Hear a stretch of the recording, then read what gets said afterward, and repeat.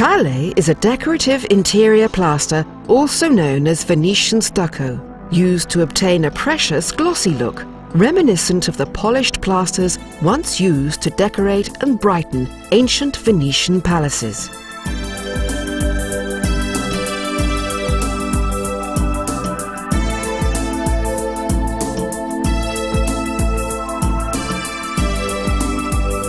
To prepare the base, apply two layers of plaster by a trowel until you obtain a smooth, even surface.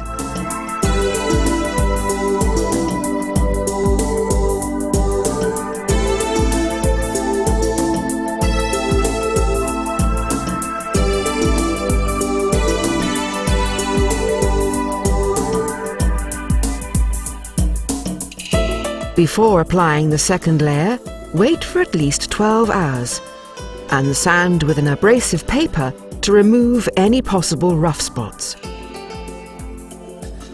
All traces of dust must be removed with a dry cloth before applying the finishing layer.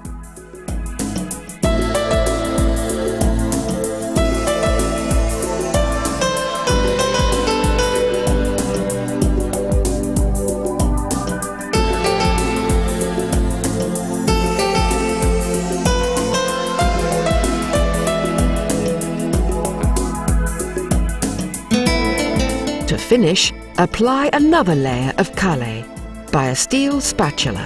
Its size may vary depending on the effect desired by overlapping the strokes.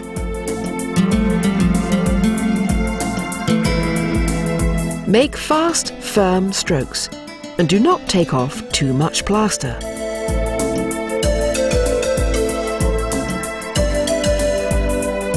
After about 10 minutes, when the plaster starts getting matte, begin polishing with a mirror polished stainless steel trowel with rounded edges.